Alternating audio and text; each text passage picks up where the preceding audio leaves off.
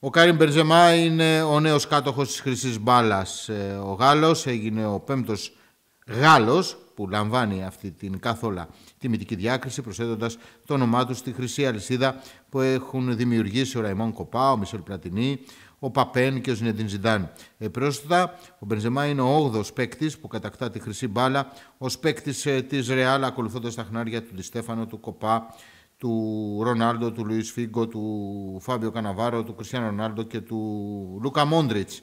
Σαφής και κατηγορηματικός ο Καρύμ Μπερζεμά δήλωσε πως ε, δεν έχει καμία πρόθεση να φύγει από τη Ρεάλ ως το τέλος της καριέρας του. Θα αποσυρθώ ως παίκτης της Ρεάλ. Δεν υπάρχει άλλη επιλογή για μένα. Ενώ ο ίδιος ε, τον Δεκέμβριο κλείνει τα 35 του χρόνια και λέγεται πως υπάρχει καταρχήν συμφωνία με τους Μαδριλένους για νέο συμβόλαιο μέχρι το καλοκαίρι του 2024. Ο ίδιος δεν έχει μιλήσει ακόμα και το πόσα χρόνια θα παίζει ακόμα ποδόσφαιρο. Επίσης ε, τόνισε ε, ότι δεν ήταν εύκολο για να φτάσει σε αυτή την διάκριση, πέρασε δύσκολες στιγμές, όμως δεν το έβαλα κάτω και χαίρομαι που η προσπάθειά μου ανταμείφθηκε.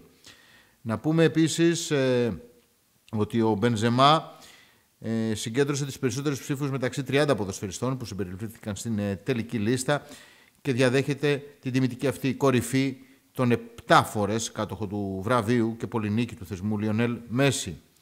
Ο Αργεντίνος Σουπερστάρ έμεινε εκτός ε, της τελικής ε, λίστας ε, μετά από 17 χρόνια σε αντίθεση με τον πεντάκης νικητή Κριστιανό Ρονάλντο που δήλωσε παρόν στην τελική λίστα για την κατάκτηση της χρυσής μπάλας για 18η διαδοχική χρονιά με τα δύο ιερά τέρατα του παγκοσμίου ποδοσφαίρου να επισκιάζονται από τον κανονιέρη της Ρεάλ.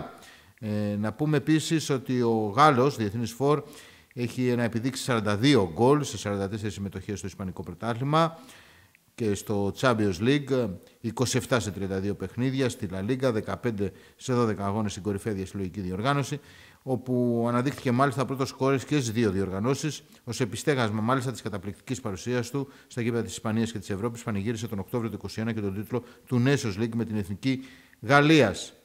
Να πούμε ότι η τελική κατάταξη έχει τον Μπενζεμά πρώτο, δεύτερο το Μανέ, τρίτο τον Ντε Μπρόινε, τέταρτο τον Λεβαντόφσκι, πέμπτο τον Σαλάχ, έκτο τον Εμπαπέ, έβδομο τον Κουρτουά, όγδοο τον Βινίσιος, δέκατο τον Μόντριτς ε, και δέκατο τον Έρλινγκ Χάαλαντ μπήκε για πρώτη φορά στην λίστα. 20 ήταν ο Ρονάλντο και 21ο ο Χάρι Κέιν. Ενώ Στις υπόλοιπες κατηγορίες, καλύτερος νεαρός ο Γκάβι, καλύτερος τερματοφύλακας ο Κουρτουά, καλύτερος επιθετικός ο Λεβαντόφσκι, καλύτερη κοινωνική προσφορά ο Μανέ κορυφαίος σύλλογος χρονιάς η Manchester City και κορυφαία γυναίκα η Πουτέγιας.